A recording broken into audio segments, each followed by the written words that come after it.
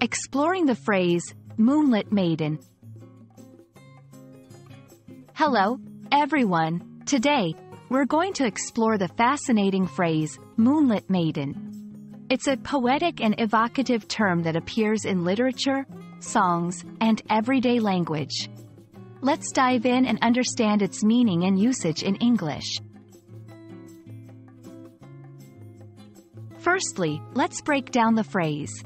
Moonlit refers to something illuminated by the moon's light. It's often used to describe a scene or an object that has a gentle, soft glow from the moon.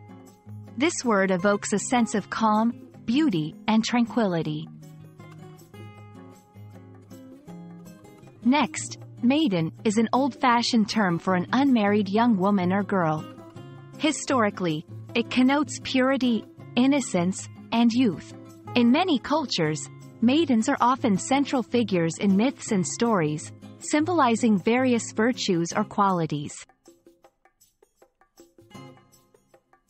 Combining these two words, moonlit maiden, often portrays an image of a young woman under the moonlight, surrounded by an air of mystery, beauty, and grace.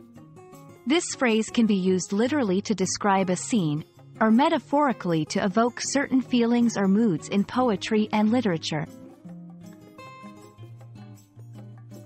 In literature and art, Moonlit Maiden is used to create a romantic or mystical atmosphere. It's a powerful imagery tool for writers and artists to convey emotions and set the tone of a scene. So, there you have it, the meaning and beauty of the phrase, Moonlit Maiden. It's a poetic expression that captures the imagination and evokes a range of emotions. I hope you found this video helpful and interesting. Thanks for watching, and see you in our next English language exploration.